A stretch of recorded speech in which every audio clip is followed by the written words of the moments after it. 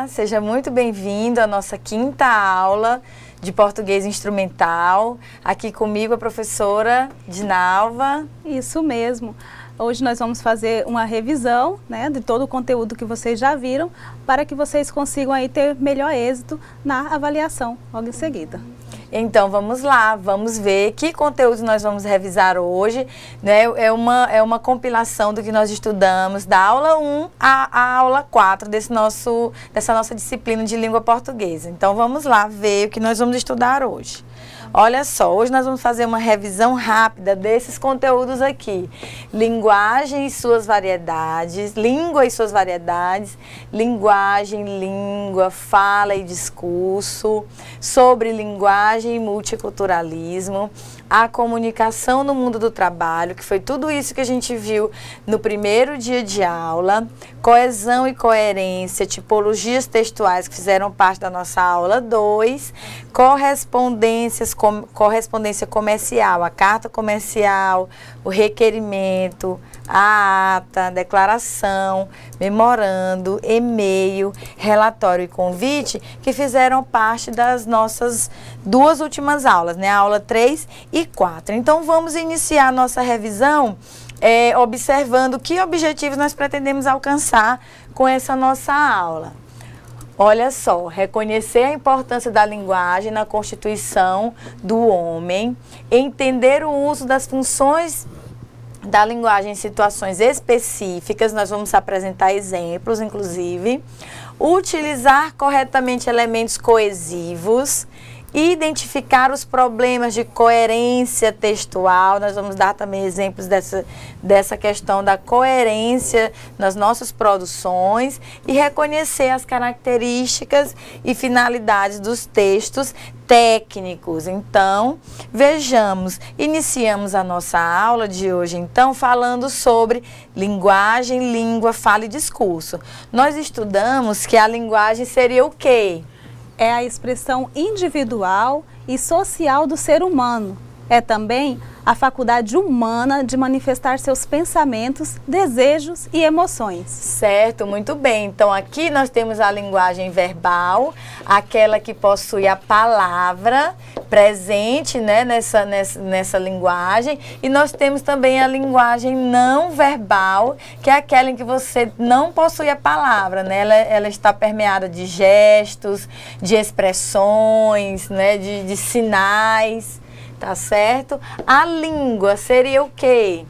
A língua é um sistema de signos utilizados para estabelecer uma comunicação e é também um instrumento de interação social. Muito bem, é o código, a língua então é o código que nós vamos utilizar para desenvolver né, é, essa interação com o próximo. A fala...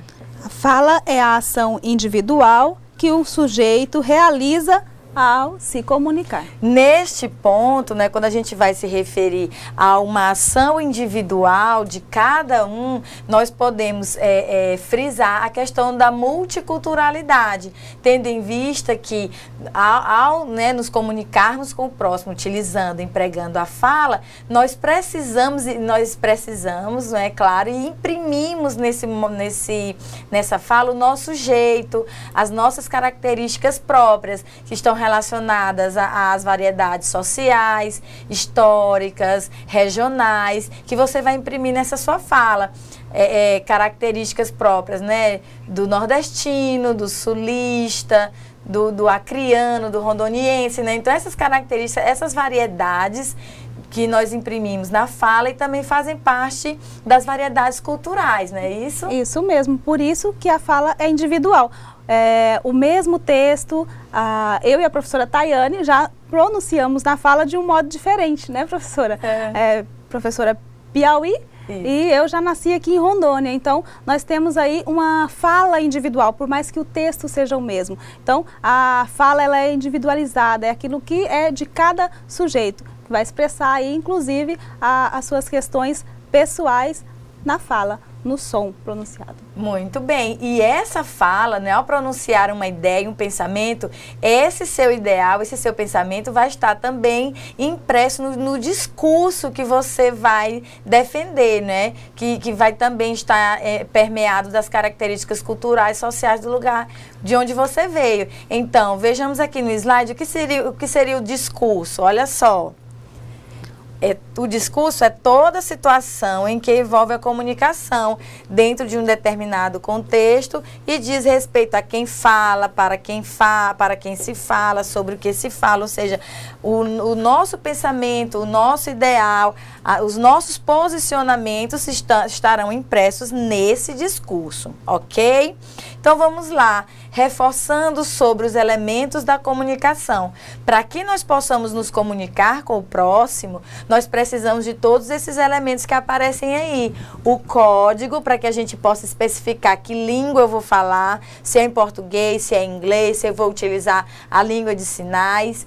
A mensagem em si, que é o conteúdo que vai ser utilizado, o conteúdo que vai ser que vai ser expresso na mensagem, que é o assunto em si, o canal, ou seja, o meio que vai ser utilizado para que eu possa transmitir aquela mensagem. Se é uma notícia transmitida pelo rádio, então o canal vai ser o rádio. Se é uma mensagem é, é, publicada no outdoor, o meu canal vai ser o, o o outdoor em si, então tá certo? O canal é o meio utilizado. O referente é o contexto em si, é o que a gente vai, né, o contexto, a situação em que esse ato comunicativo está é, é, presente. O emissor é quem vai emitir essa mensagem, o receptor será aquele que vai receber. Então, todo ato comunicativo, esses elementos sempre estarão presentes, tá certo? Você precisa de alguém para emitir uma informação, alguém que vai receber, como essa informação vai chegar até a, até né, a pessoa com quem eu quero manifestar um determinado assunto, o código que vai ser utilizado, a situação em si. Então vejam, esses elementos comunicativos, eles vão exigir de nós a utilização de uma função. E essa função vai estar relacionada a cada um desses elementos, tá certo? Então vamos ver que funções são essas, que, que característica cada uma dessas funções possui. Olha só, vejamos aqui no nosso slide. Se a prioridade, né? Quando a gente vai produzir um enunciado, você tem que observar que elemento da comunicação está sendo priorizado: o emissor, o receptor, o código, a mensagem, é, o canal e qual vai ser a função de linguagem que vai estar relacionada a ela. Vamos fazer uma revisão desse assunto. Que função de linguagem vai estar caracterizada nessa, nesse texto aqui? Olha, uau, eu venci, eu sou demais, consegui a aprovação, ninguém me segura o texto está centrado em quem? Olha só, né? Ele está falando sempre aí eu, eu, né? Uau, eu é quase coloca assim, uau, eu sou demais, eu consegui. Então, é o, a pessoa que está falando que está centrado o texto. Então, nós temos aí o emissor, né, professora? Com e certeza. a função da linguagem é? É a função emotiva. Então vejam aqui no slide, olha só, como é o próprio leit o próprio autor do texto, né, que está sendo priorizado, ou seja, o emissor, claro que a função da linguagem será qual? A emotiva. Então prestem atenção. Se tiver o emissor falando de si, das suas emoções, dos seus sentimentos, função emotiva, tá?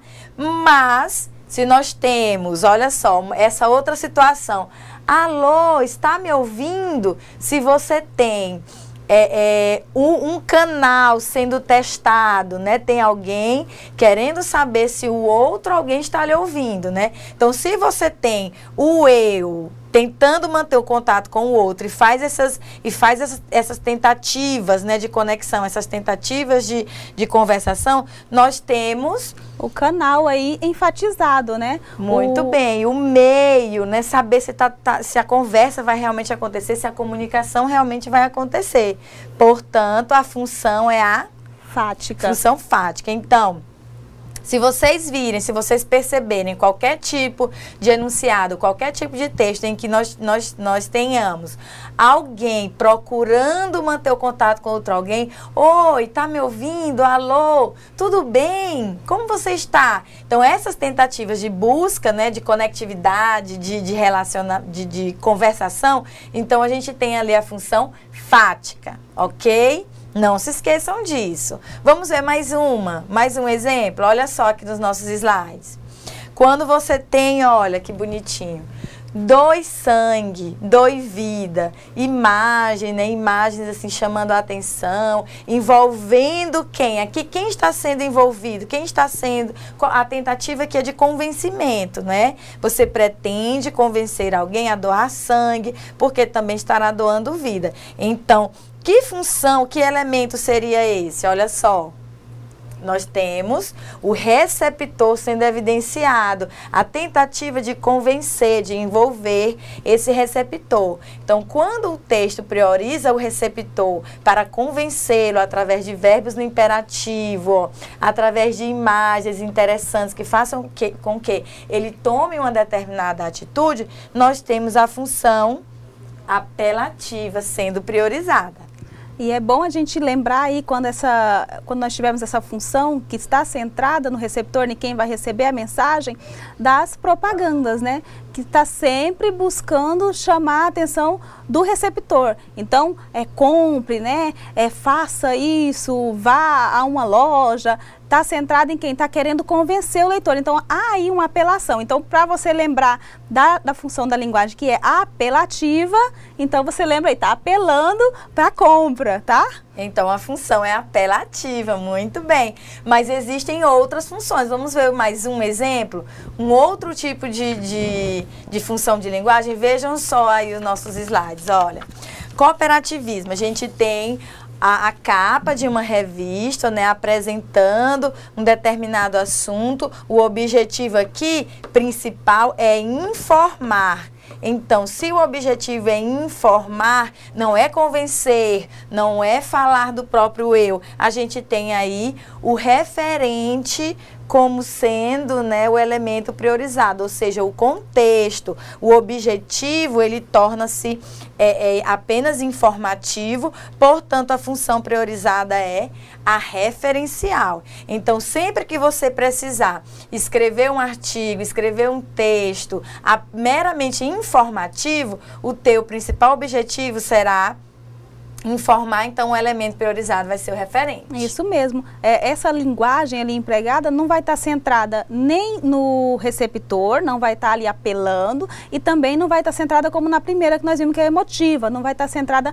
na pessoa que está falando, nas emoções. O texto é limpo, né? ele é um texto referencial, apenas informativo, então não vai estar ali impregnado das emoções de quem está falando. Então essa é a linguagem utilizada aí mais para textos científicos, né, professora? Com certeza. Então, quando nós tivermos, então, é, o objetivo de apenas informar, função é, referencial. Tudo bem? Olha só esse outro exemplo aqui de, de elemento da comunicação sendo priorizada. Esse, esse, exemplo aqui ele é muito interessante. Olha, você tem um grande artista, um grande pintor se pintando, olha só. Ele está com o cachimbo aqui, está aqui e está no espelho. Então você tem a pessoa fazendo o seu próprio retrato, né? Então a gente tem aqui, olha, o código explicando o próprio código, como como um grande pintor faria para se pintar né, no autorretrato. Quando nós temos um código falando do próprio código, você tem o código então sendo priorizado e a função chama-se metalinguística. Lembra que nós comentamos um dicionário, que é a palavra expli explicando sobre a própria palavra, o significado da palavra. É mais um exemplo de metalinguagem. Um filme que vai falar sobre a história do filme, sobre como fazer um filme tem também lá a função metalinguística. Se você tem um retrato, uma pessoa se pintando, explicando como pintar, então a gente tem mais um exemplo de função metalinguística, tá certo? Olha só, Quando você pretende é desenvolver essas habilidades para manter uma comunicação eficiente, principalmente no ambiente de trabalho, além de você ter conhecimento das, da, da necessidade, das necessidades, dos objetivos desse seu texto, dessa sua produção, se você quer convencer alguém, se você quer é, é, apenas demonstrar o que você sente, utilizando essas funções que nós apresentamos aqui, você precisa também ficar atentos a essas questões que nós estamos apresentando. Olha, você precisa perceber se existe clareza e objetividade na mensagem né, em que você está querendo transmitir. As pessoas vão compreender o que você está querendo passar, o que você está querendo transmitir. Você tem que ficar atento à precisão para que o outro compreenda realmente o que você está pensando. E a precisão aqui, ela está relacionada a não fugir ao tema, não ficar é, enchendo um texto de palavras, de informações desnecessárias. Você ser preciso, objetivo naquilo que você pretende transmitir. A persuasão para obter a colaboração e a resposta esperada, né? Então, quando você vai no ambiente de trabalho, quando você pretende no ambiente de trabalho desenvolver uma comunicação eficiente, você precisa então ter esse, essas ter claro, né, cada uma dessas características perceber se você está sendo realmente compreensivo, se você está utilizando-se da objetividade para transmitir essa informação, se você está conseguindo realmente fazer com que o próximo te compreenda, tá? E isso está relacionado à comunicação no ambiente de trabalho. Para isso, nós precisamos fazer uma relação, inclusive, com todos aqueles elementos, não é? É, é, todos aqueles documentos, a utilização adequada dos documentos necessários né, e que fazem parte do ambiente de trabalho. Isso mesmo. E diretamente ligada à comunicação no ambiente de trabalho está, estão aí as funções da linguagem que nós acabamos de ver. Né? Você não vai aí num, num, numa comunicação oficial, por exemplo, do seu local de trabalho, impregná-la da, da função emotiva. Eu sou demais, ou vai assinar aqui, assina o cara, né? Você vai se preocupar aí com a função qual? Vai, vai ali prevalecer a função referencial, porque você quer comunicar, você quer se fazer compreendido, quer que o outro saiba é, claramente o que você está falando. Até mesmo aí na, na questão da comunicação, como nós vimos, tem que ser objetivo, né? Você precisa falar diretamente, o comunicar e não ficar ali é, enchendo linguiça, né, Isso, né, professora? Não pode ficar enrolando, inventando história desnecessária, tá? Então, para que você possa produzir um bom texto, e agora a gente já entra na, na questão do, das tipologias e dos gêneros textuais e dos documentos oficiais que nós precisamos é, é, utilizar no dia a dia de trabalho, vamos fazer uma revisão sobre as tipologias textuais. Porque se você vai fazer um relatório, ele vai pedir ou uma narração, ou uma descrição, ou uma dissertação. Então, dependendo do tipo de texto que você vai utilizar, do gênero do documento que você vai utilizar, você precisa então fazer uma relembrar, né, quais são as características dos textos narrativos, descritivos e dissertativos. Vamos lá, vejam só aqui nos nossos slides. Então, vamos lá para uma narração, uma descrição ou uma argumentação, né, quais são as características desses tipos aí, dessas tipologias textuais. Olha só, o texto narrativo, ele, né, ele é utilizado para quê? Para que a gente possa contar uma história, narrar um fato. Tá certo? Nós vimos isso já nas nossas aulas anteriores. Olha só um exemplo de texto narrativo. Conta a lenda que um velho funcionário público de Veneza Noite e dia, dia e noite, rezava e implorava para o seu santo que o fizesse ganhar sozinho na loteria, cujo valor do prêmio o faria realizar todos os seus desejos e suas vontades. Assim, passavam os dias, as semanas, os meses e os anos. Nada acontecia. Até que, no dia do santo, de tanto que seu fiel devoto chorava e implorava, o santo surgiu do nada e, numa voz de desespero e raiva, gritou: Pelo menos, meu filho, compra o bilhete! Claro, então a gente tem uma história sendo contada, né? uma história sendo narrada, todos os acontecimentos e tem uma, uma sequência de início, meio e fim. Temos aí então o texto narrativo. E que características teria um texto argumentativo, né? Quando você precisar utilizar a argumentação Então, esse é o texto da ideia, o texto da opinião, do ponto de vista sobre uma determinada problemática. Então, se você vai dar a sua opinião, você está se utilizando, você estará se utilizando do texto dissertativo, utilizando a argumentação. Então, vamos ver esse exemplo.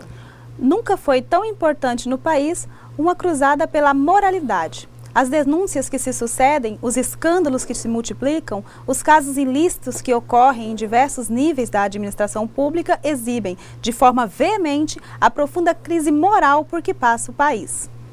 O Brasil dos grandes valores, das grandes ideias, da fé e da crença, da esperança e do futuro necessita urgentemente da ação solidária, tanto das autoridades quanto do cidadão comum para instaurar uma nova ordem na ética e na moral. Muito bem. Por que esse texto ele é dissertativo? Por que ele é argumentativo? Vejam que a característica principal desse texto é apresentar a opinião do autor sobre essa questão, né, sobre esse período, sobre essa, toda essa problemática porque passa o país. Então você tem essa cruzada pela, pela moralidade sendo, é, sendo evidenciada e ele aponta no texto, né, aqui, voltando, ele aponta no texto que, só um minutinho, ele aponta aqui no texto, então, que o que a sociedade, o que o Brasil, o que o país precisa fazer. A opinião dele, portanto, está sendo evidenciada aí no texto. Tudo bem? Isso texto mesmo. argumentativo. Você tá? vê que ele apresenta aí no primeiro parágrafo, ficou bem claro, um problema e em seguida ele apresenta o quê? Apresenta. apresenta a solução para esse problema. É um Com texto certeza. que defende mesmo, né, uma ideia. Com certeza, defende uma ideia. Portanto, a argumentação. É, o te, já o texto descritivo, o principal objetivo dele é enumerar, olha só, é enumerar aspectos é, físicos, enumerar aspectos físicos ou psicológicos em simultaneidade. Pode ser um ou outro, e pode, estar, pode ser a descrição de um lugar, de um ambiente, de uma pessoa, de uma situação. Então, o texto descritivo tem a característica de apontar as características né, de, um, de uma determinada pessoa, lugar ou situação. Olha o exemplo. A árvore é grande, com tronco grosso e galhos longos. É cheia de cores, pois tem o marrom, o verde, o vermelho das flores e até um ninho de passarinho. O rio, espesso com suas águas barrentas, desliza lento por entre pedras polidas pelos ventos e gastas pelo tempo. Vejam que o texto descritivo, ele é, você consegue inclusive visualizar a cena. Imagine uma imagem que você vai tentar visualizar. Então, no texto descritivo, a principal é, caracteri característica é apresentar e enumerar os aspectos do, do, do nosso objeto de descrição, né? Um lugar, uma pessoa, uma situação e assim por diante, ok? Muito bem. Então, vamos fazer uma revisão sobre coesão e, coesão e coerência? Quando um texto está coerente e quando ele não está coerente? Vamos aqui aos exemplos, olha só. O relatório está pronto, porém, o estou finalizando agora, como assim? Como o relatório já está pronto, essa foi a nossa primeira afirmação. E depois, com a utilização né, de um elemento que vai contradizer o que foi dito antigamente, eu digo que eu ainda estou finalizando. O, o relatório está pronto ou não está? Esse, essa frase, então, está incoerente, totalmente incoerente, ou seja, a ideia não permanece do início ao fim. Pra, para que ele ter essa, essa frase, né, pudesse estar realmente coer, coerente, deveria ser algo parecido assim, olha, o relatório está pronto, portanto, já alcançamos, já, já é, conseguimos, já sabemos quais resultados foram atingidos na proposta, no projeto, né, então você já sabe dizer quais foram é, os resultados, porque o relatório ficou pronto, entenderam? Ok, olha o, o, outro exemplo. Ele é vegetariano e gosta de um bife muito mal passado. Esse texto está coerente ou incoerente? com certeza ele está incoerente, né? Porque nós sabemos que um vegetariano jamais com, comeria um bife, muito menos ele sendo mal passado. Então vejam, essas duas informações aqui, elas se contradizem, tá certo? Novamente, um exemplo de texto incoerente. O que fazer para torná-lo coerente? Ele é vegetariano, por isso não gosta não jamais comeria um bife mal passado. Tá certo? A coerência e a incoerência estão relacionadas ao sentido geral do, do que você pretende descrever, do que você pretende falar. Você não pode dizer algo e em seguida contradizer o que você acabou de dizer. Isso é ser incoerente. Incoerente é você dizer, ah, eu não gosto de, não gosto de comer maçã e tá lá comendo. Então, é, é, as, as, nossas atitudes e as nossas ações também podem ser coerentes ou incoerentes a, é, né, em relação ao que nós falamos. Então, a incoerência está relacionada à ideia, ao sentido que o texto quer passar. Tudo bem? Vamos ver agora nos próximos slides, o que seria a coesão? A coesão são os elementos que nós vamos utilizar para deixar o nosso texto unido, para unir uma frase a um período que vai se unir ao parágrafo. Olha só o texto. Cultivar um estilo de vida saudável é extremamente importante para diminuir o risco de infarto, mas também de problemas como morte súbita e derrame. Significa que manter uma alimentação saudável é praticar atividade física regularmente e praticar atividade física regularmente já reduz, por si só, as chances de desenvolver vários problemas. Além disso, é importante para o controle da pressão arterial, dos níveis de colesterol e de glicose no sangue. Também ajuda a diminuir o estresse e aumenta a capacidade física, fatores que somados fatores que somados reduzem as chances de infarto exercitar-se nesse, nesses casos com acompanhamento médico e moderação é altamente recomendável. Muito bem, então vamos voltar aqui o slide para a gente tentar identificar esses elementos de coesão. Então, o que são os elementos de coesão? O que é a coesão? São os elementos utilizados ao longo do texto que fazem com que uma ideia se una à outra que já foi dita anteriormente. Olha só, quando ele diz né, que é importante ter um estilo de vida saudável e que, porque esse estilo vai diminuir os riscos de infarto, quando ele utiliza, essa expressão, mas também ele vai apresentar outras situações, outros problemas que você pode evitar com essa vida saudável aí, olha. Esses outros problemas aqui, morte súbita e derrame. Significa que manter uma alimentação saudável e praticar esporte já reduz por si só as chances de, de desenvolver vários problemas. Além disso, ou seja, além de reduzir, de, de acabar com esses problemas, de evitar esses problemas à saúde, é importante também para quê? Para, com, para controlar a pressão arterial, dos níveis de colesterol, de glicemia e tudo mais. Então, esse outro elemento também faz uma coesão da ideia.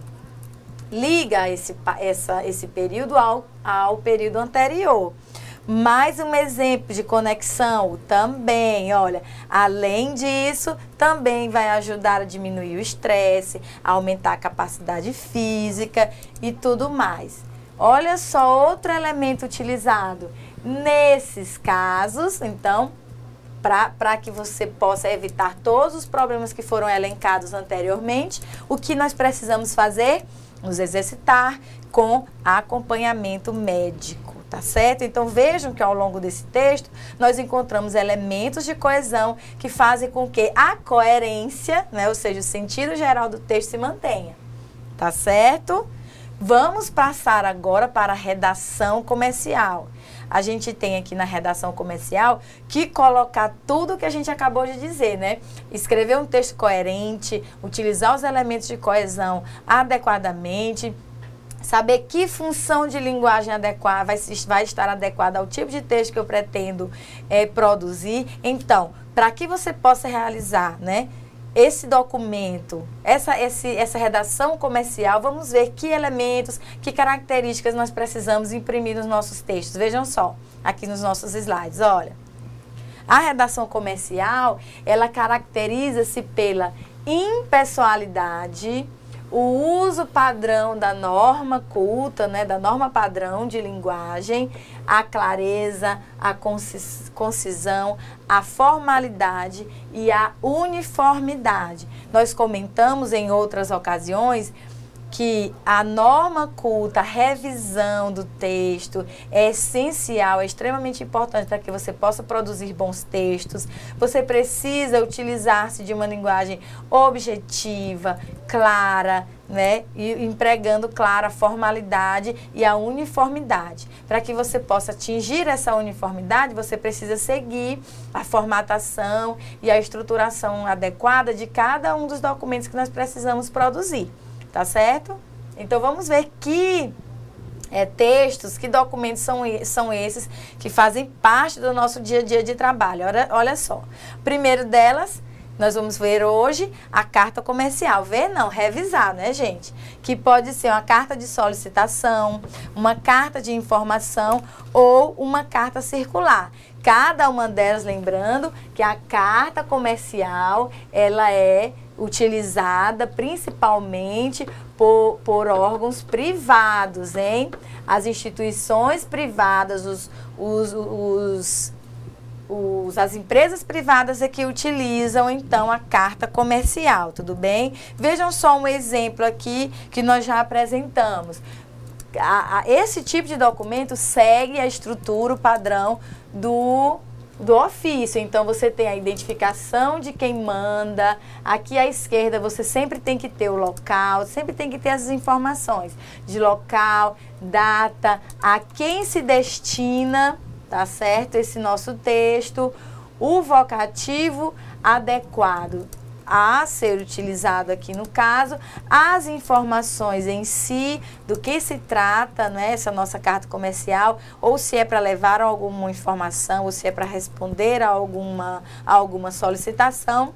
O fechamento, olha, vamos já fazer uma revisão sobre o fechamento adequado, atenciosamente ou respeitosamente, dependendo do receptor. E sempre assinar o nome de quem está mandando e o cargo. Aqui no finalzinho, olha, inclusive tem até é, é, o endereço né, do remetente. Então vejam só, a carta comercial, primeira coisa, é um documento produzido por empresas privadas.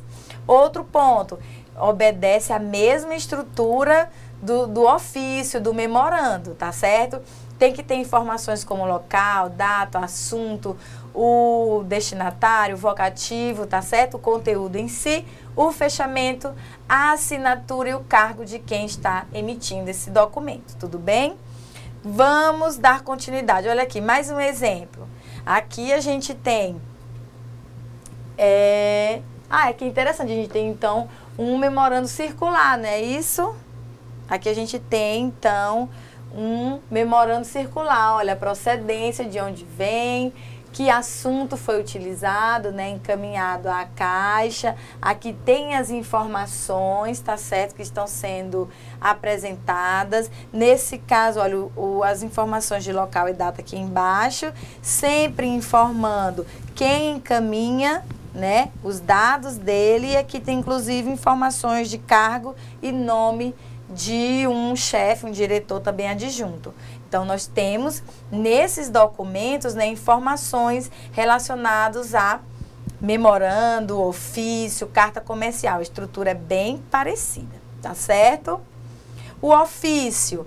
O que nós podemos destacar na aula de hoje sobre ofício é que é um documento, ele é um documento de comunicação externa, ou seja, um órgão público encaminha para um outro órgão ou público ou particular. E também, olha, as mesmas, as, a mesma estrutura da carta comercial. Tem que ter um destinatário com o nome, o cargo e a função.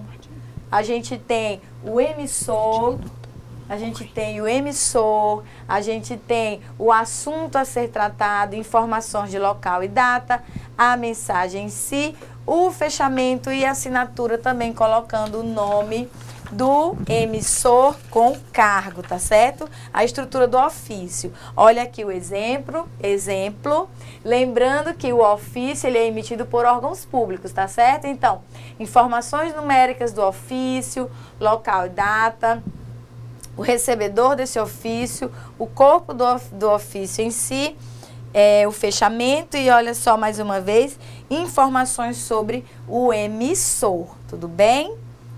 E o memorando também segue a mesma estrutura, porém é uma comunicação que interna, que pode ser utilizado por qualquer órgão, por qualquer instituição, porque o objetivo principal dessa comunicação interna aqui é fazer com que os departamentos, as filiais, conversem entre si, né, apresentem essa essas documentações necessárias para o desenvolvimento do trabalho. E também tem que ter destinatário, emissor, o assunto, local e data, a mensagem em si, o fechamento e a assinatura de quem, de quem encaminha. Veja só o modelo de memorando, né, extraído do manual de redação da Presidência da República. Nós temos dados numéricos do memorando, local e data, a quem se dirige o assunto, o corpo do texto em si, o fechamento, nome e cargo de quem encaminha, tá certo? Nós trouxemos esses exemplos para que vocês reforcem, né, a ideia de que a carta comercial ela é emitida pelos órgãos particulares, pelos órgãos privados, né, das instituições privadas. O ofício é uma documentação que, de comunicação externa, né? Um órgão público deve encaminhar a outro ou a particulares. E o memorando é um documento interno.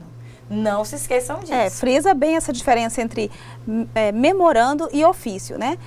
São as estruturas, né? A estrutura de ambos são bem semelhantes, mas grava que o memorando é interno, para comunicações interna entre setores, e o ofício é externo. Então, preste atenção, porque provavelmente, né, isso aí vai ser cobrado na, na sua vida, não só agora, mas durante toda a sua vida para diferenciar essas comunicações. Com certeza. Além desses documentos que nós apresentamos até agora, nós precisamos ter consciência das características de uma ata. Então vejamos aqui o exemplo. Olha só as características principais da ata.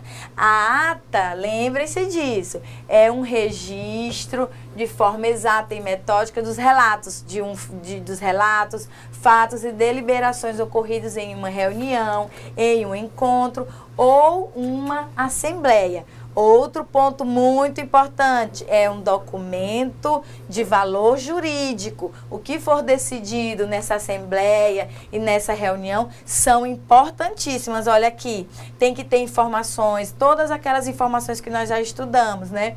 De dia, mês, hora, tudo Olha, grafado por extenso. Não pode ter parágrafos, emendas, os números têm que ser grafados por extenso, assinada de preferência pelo presidente, secretário e todos os presentes. Olha aqui o exemplo. É um texto corrido, tá certo? Com informações centrais de que reunião, de que assembleia foi aquela e todas as, as, todos os fatos que foram conversados, né, debatidos na reunião. O requerimento é um documento do cidadão e ele refere-se a quê? A uma solicitação, a um pedido, tá certo? Que pode ser feito a uma pessoa, a um grupo de pessoas que vai considerar se vai atender ou não. Então, requerimento é um pedido, é uma solicitação. Aqui nós temos um modelo básico, tem órgãos que já apresentam estrutura definida, com informações de quem está solicitando, e sempre vai ter a expressão venho requerer, vimos requerer algo, e tem também o parecer, né? se aquele órgão vai receber, vai acatar, vai fazer o que tá, está sendo solicitado ou não. Então, requerimento é um pedido, uma solicitação tá certo? A declaração seria o quê? Olha só. Quando você for escrever uma declaração, lembre-se de colocar sempre o título, né, em letras garrafais assim, em destaque, bem centralizado, o corpo do texto em si, que você vai fazer uma declaração, você vai fazer uma afirmação sobre alguma coisa que você possui, sobre alguma atividade que você faz. Tem que trazer informações de local e data e também a assinatura. Olha o modelo de declaração aqui. eu, Fábio, fulano de tal, brasileiro, ou seja, identificação daquela pessoa. E lá na frente, olha, ele tem que dizer declaro, ou seja, ele está afirmando alguma coisa, tá certo? É de praxe você colocar, né, que aquilo é uma expressão da verdade, as informações de local e data, quem assina e a identificação do CPF. Então, a declaração é você apresentar uma afirmação assinar né, e dizer que aquilo é verdade. Lembrando que o que você declara em documento, você tem que realmente né, provar que aquilo é verdadeiro, tudo bem? O relatório, interessante. O relatório, ele é um documento... É um documento no qual se expõe o quê? O relato de uma ocorrência.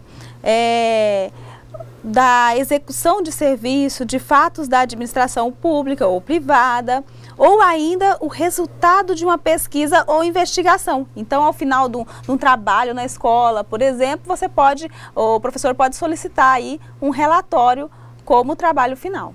Isso, e esse relatório, para que ele seja um bom relatório, ele tem que trazer o quê? Algumas informações que são muito importantes. A quem ele se destina, qual é a periodicidade dele, o que vai ser comunicado, se realmente você está conseguindo levar as informações corretas, né, daquilo que você vai apresentar. Por exemplo, se você precisa fazer uma vistoria numa empresa, né, você vai precisar fazer uma vistoria, você vai lá, verifica o, o, o que você viu de bom, o que você, que, que você viu que não estava tão bom assim e precisa apresentar para o seu chefe, né, tudo que você conseguiu observar. Então, você vai precisar verificar todas essas questões, né? Apresentar, delimitar o que você, o objeto, né? O local, apresentar o local, apresentar as informações necessárias e no final dizer o que seria necessário fazer para melhorar não é o, o, tendo em vista tudo que você conseguiu observar naquele naquela vistoria. Então, esse é um exemplo, né, em que você precisa utilizar-se desse documento que é o relatório. Tudo bem? Vejam só aqui no nosso próximo slide um exemplo né, de relatório. Ele não tem uma estrutura própria, uma estrutura específica, mas geralmente você apresenta. É, é, se, fosse, se você vai fazer uma vistoria, se você vai relatar sobre, sobre o estágio, faz, trazer algumas informações de estágio, de visita técnica, você, técnica, você aponta não é no corpo do texto tudo que foi observado.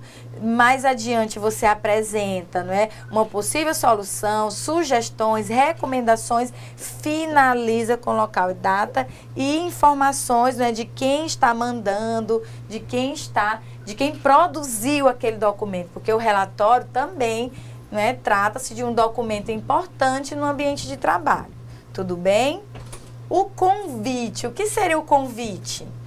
O que é o convite? É um instrumento de comunicação escrita por meio do qual se chama, convoca ou solicita aí o comparecimento de alguém a algum local em horário marcado e com finalidade destinada.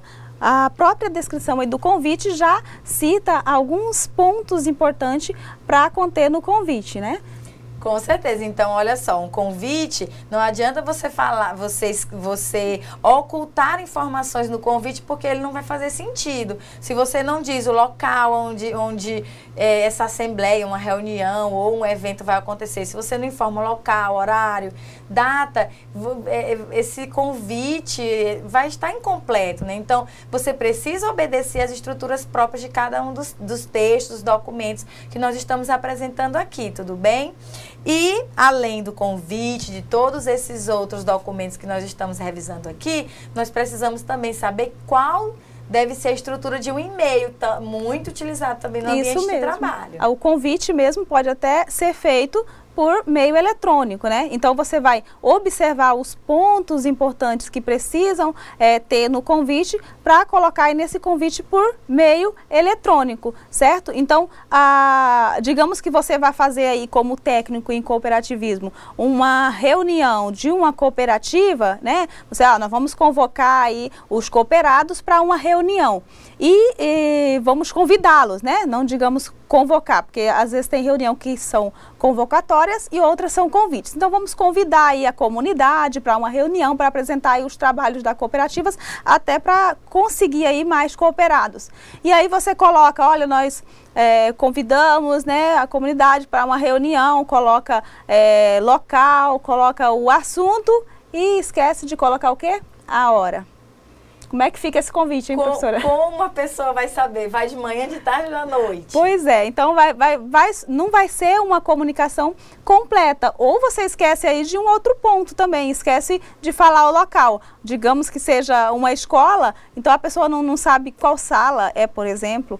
Então é, fica mais fácil, porque chegou na escola, tem alguém lá para resolver esse, esse problema, essa comunicação incompleta. Mas se você esquece de falar, inclusive, a escola, né, se for numa, numa linha, se for numa, numa cidade onde tem mais de uma escola, complicou já a situação, o convite, a comunicação não foi correta não foi eficiente, né? Então, olha só, vejam aqui nos nossos slides, né? Para que você possa emitir um e-mail, né? Que é essa mensagem eletrônica tão utilizada no ambiente de trabalho, você precisa fazer as identificações de quem manda o, o e-mail de quem vai receber, né? E vai ter, trazer já implícitas informações do local, do horário e tudo, né? De que esse e-mail foi, foi enviado. Mas é importante você discriminar o quê? O assunto. Se vai ser feito um convite, então você tem que colocar aqui no assunto convite para a participação do evento tal, tá certo? Fazer também todas aqueles aquelas trazer também todas aquelas questões que nós conversamos sobre é, é, identificar com quem você está falando, o corpo do teu, da tua mensagem em si e a assinatura, que também é tão importante. E para que você possa, para que seja possibilitada a celeridade, não é? Nesse meio de comunicação, você, portanto, precisa colocar o assunto, utilizar uma linguagem breve, rápida, objetiva, para que o teu texto seja compre, efetivamente compreendido, tudo bem? Então vamos ver, por exemplo, que vocativos né, a gente vai apresentar. Ah, antes da gente entrar aí no, nos pronomes, nos vocativos, é, é, eu chamo a atenção aqui de vocês para essas formas de comunicações que nós trouxemos aqui nas comunicações oficiais. Vocês estão aqui fazendo um curso de cooperativismo e aí pensa-se então em abrir e formar cooperativas ah, na região onde vocês moram. Ah, a ata, por exemplo, né? Você vai precisar é, saber das especificidades de uma ata quando faz uma reunião. Você vai precisar também saber aí fazer um relatório é, quando você precisar apresentar alguma atividade dessa cooperativa a, um, algum órgão competente. Você vai precisar também saber fazer o convite correto para essa reunião que você vai fazer a ata. Uhum. Então, todos esses, esses elementos que nós trouxemos aqui, todas essas formas de comunicações é, que nós trouxemos, elas são, estão diretamente ligadas à profissão que você poderá exercer quando é, você for técnico em cooperativa. Quando você observar aí na sua localidade, na região onde você mora, a necessidade de montar uma cooperativa para defender o, o interesse da população local, para que seja mais valorizado ainda os produtos produzidos nessa região. Então, é, às vezes fica parecendo distante essa questão, essa, essa importância de observarmos a, a, linguagem padrão, observarmos as formas padrão de comunicação, mas isso vai ser importante sim quando você montar aí uma, uma cooperativa, quando você se unir aí com seus colegas que estão se formando e montar uma cooperativa para defender aí os interesses e valorizar ainda mais os produtos regionais, tá?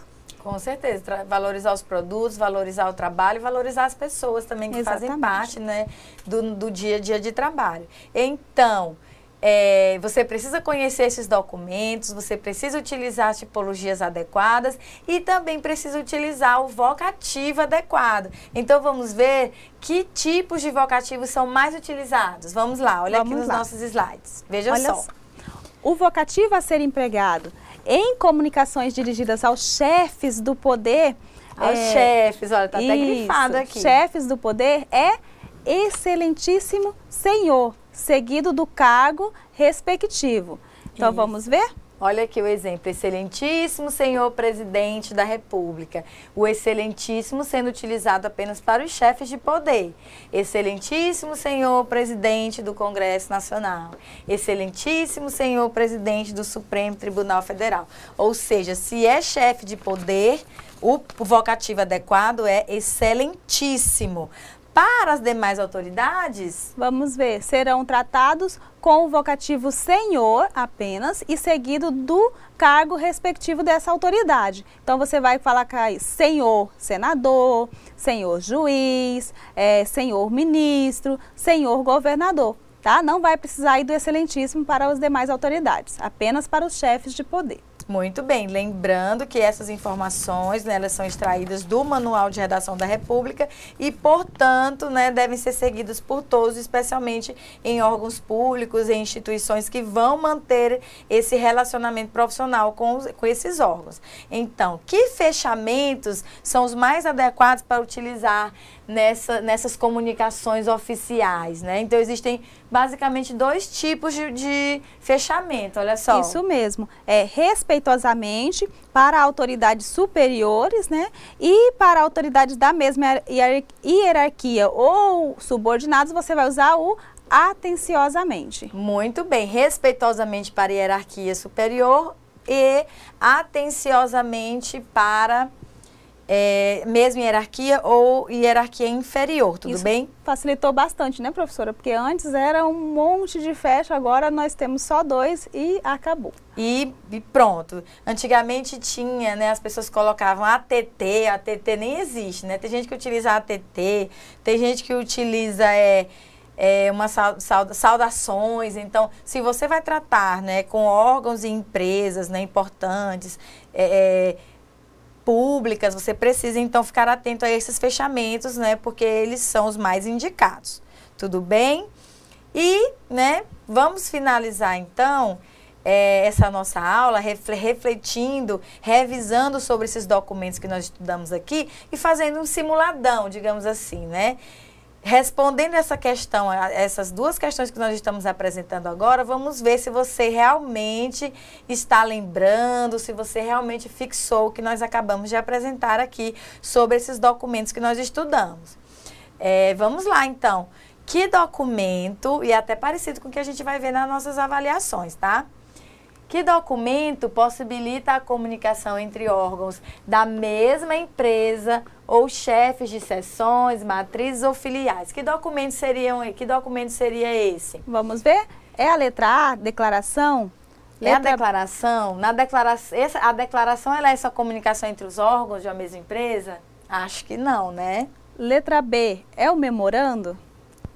Com certeza é o memorando. Vocês se lembram que o memorando é uma comunicação própria, né, das empresas. Então é uma comunicação interna.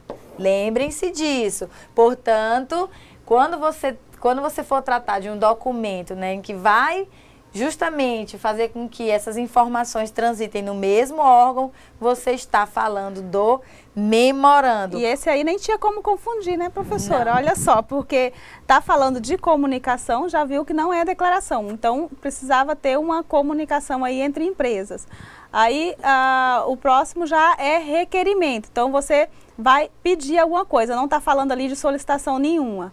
Então, uh, eu estava procurando aí o ofício, professora. Não está, o ofício não está Para poder compararmos, né? O ofício, então, né, se nós tivéssemos a opção ofício aí, nós não deveríamos marcar o ofício, por quê? Porque ele não faz parte dessa comunicação interna. Pois é, porque colocou, Ele é uma né? comunicação externa. Então, não é relatório também, porque não está sendo relatada nenhuma informação, né, nenhum acontecimento, muito menos um convite, porque não está sendo apresentado, fazendo nenhuma convocação, né, nenhum chamamento. Tá certo? Vamos ver o próximo. Olha só. Aqui. Um instrumento de comunicação escrita por meio do qual se chama, convoca ou solicita o comparecimento de alguém a algum local, em horário marcado e com finalidade determinada. Ah, eu acho que essa daí ficou fácil, né? Olha, a anterior já estava fácil, professora, porque eu fiquei procurando para ver se tinha ofício para a gente poder é, fazer. Pra dificultar a... mais, Isso, né? mas não estava. E essa também não estou vendo dificuldade aí. Então, qual seria a alternativa, né? Que instrumento é esse que nós utilizamos para chamar, para convocar, para solicitar o comparecimento de alguém? Já falei, né? Olha. É a declaração? Não, jamais. A declaração você faz uma afirmação sobre algo que você possui, ou algo que você já fez, ou algo que você é, possui, não é? Fez. O memorando, já vimos, também não é esse instrumento aqui de comunicação que nós estamos citando. Por quê? Porque ah, o objetivo dele não é convocar, não é chamar, não é solicitar, não, tem na, não, é, não é nada não é relacionado àquilo lá. São é, o memorando é um documento utilizado entre os órgãos, né, para que esses órgãos, desculpa, entre órgãos não, entre é. setores, né, para que esses setores, os departamentos de uma mesma instituição possa é, é, veicular informações importantes. O requerimento, já vimos, é um pedido, uma solicitação, então também não é o que nós, nós queremos. Não é um relatório, por quê? Porque o relatório é relatar, é informar, né, discriminar, descrever algum acontecimento, alguma coisa. E, por fim, sobrou o convite. Então, é o convite, porque está convocando, né? A professora foi é falar ali. Convite. É um instrumento, né, que convoca, que com, com, com convoca para não falar convite, né? Porque ela já ia falar que convida, então já ia dar a já resposta aí automática. É. E tá claro. Lembrando que existe o convite e a convocação. O convite, a pessoa que for convidada para participar de um evento, de uma exposição, pode ir ou não ir, dependendo da situação, dependendo do que não precisa. É de bom tom você avisar, olha, não vou poder participar desse evento por essas e essas razões. A convocação, se você for convocado para participar de uma assembleia, de uma reunião, de um evento qualquer, se você for convocado, você precisa ir ou justificar, de preferência formalmente, por escrito, as razões de, do não comparecimento. Então, o convite, ele convoca, ele chama, mas é algo assim mais informal, né? Já a convocação está relacionada também à obrigatoriedade de comparecer ou de justificar o não comparecimento. Né? Isso né? mesmo. Veja o exemplo que a gente deu eh, recentemente. Se você está eh, é, presidido em uma cooperativa e é, o governador é, convoca você para uma reunião para esclarecer alguma coisa, para algum recurso, alguma coisa que vai acontecer dentro da cooperativa, você vai precisar justificar se você não vai. Se você já vai convidar a comunidade para uma reunião, para é, apresentar algumas propostas, você não vai convocar, porque a comunidade em si não é obrigada a comparecer. Então você faz apenas um convite e não tem aí nem a obrigatoriedade de justificativa. Então, não há um compromisso, certo? No convite. Com certeza. Então, depois de, de, de, né, de né, é, estudarmos, revisarmos um pouco sobre linguagem comunicação, as funções da linguagem, coesão e coerência, é, tipologias textuais e esses documentos que nós acabamos de apresentar aqui, finalizamos a nossa aula então de revisão. É, agradeço, agradeço, imensamente né, a colaboração de vocês em todo esse período do, desse, dessa nossa disciplina de português instrumental. Passo a palavra à professora, à professora Dinaua para fazer a, a, as finalizações né, da sua fala e depois a gente conclui, né, professora? Isso mesmo. É, é um, uma alegria né, muito grande poder estar aqui hoje. É, contribuindo aqui no chat né, com as dúvidas uh, e uh, auxiliando aqui a professora nessa revisão da disciplina de português. É, quero é, falar aqui a respeito da, da secretária da Educação, né? Ela está aí visitando as escolas, soube recentemente que ela está fazendo uma, uma espécie de turnê aí, né? Visitando as escolas para ver, verificar a situação, a, a, apresentando aí a, algumas propostas. e aí ela falou que estava assistindo no momento da revisão anterior. Não sei se ela está vendo agora, né? O nossa a, alô aí para onde a secretária estiver, na escola que ela estiver acompanhando aí a, no, a nossa aula de hoje. E muito obrigada a todos vocês pela atenção e foi um prazer estar com vocês aqui hoje.